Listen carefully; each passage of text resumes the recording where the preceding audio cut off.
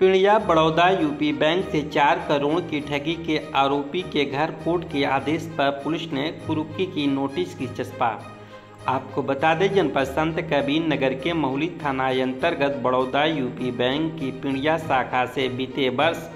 हुए चार करोड़ रुपए की ठगी के मामले में नामजद होने के बाद पुलिस पकड़ से लगातार फरार चल रहे एक नामजद आरोपी के घर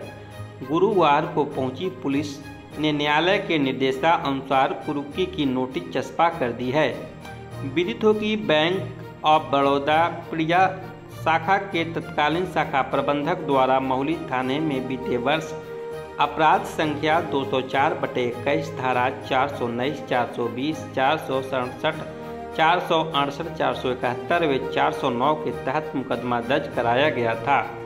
दर्ज कराए गए मुकदमे में शाखा प्रबंधक ने अपनी तहरीर में बताया था कि शाखा द्वारा संचालित दो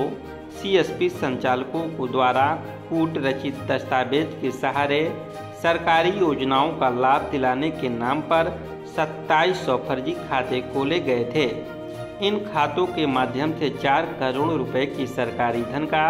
मंदरवाट सीएसपी संचालकों इंदल कुमार व राधेश्याम द्वारा कर लिया गया। तहरीर में शाखा प्रबंधक ने बताया कि उक्त दोनों जालसाज सीएसपी संचालकों ने फर्जी खाता खोलने के लिए उनकी आईडी का दुरुपयोग किया गया। साथ ही खोले गए खातों में धनराशि जमा करा कर बाद में फर्जी तरीके से उसका भुगतान करा लिया गया। इस संबंध में सीएसपी संचालक इंदर कुमार व राधे श्याम के विरुद्ध पुलिस द्वारा दर्ज किए गए मुकदमे में नामजद इंदर कुमार तो जेल में निरुद्ध है, लेकिन नामजद होने के बाद राधे श्याम पुत्र रामकरण निवासी ग्राम गाई बसंतपुर थाना दनघटा लगातार फरार चल रहा है, जिसके संबंध में न्यायालय द्वारा धारा बयासी के तहत नोटिस जारी की गई थी, जिसके अनुपालन में गुरुवार को मोहली थाने के वरिष्ठ उप निरीक्षक नाथ राम ने आरोपी राधे श्याम के घर गाय बसंतपुर गाँव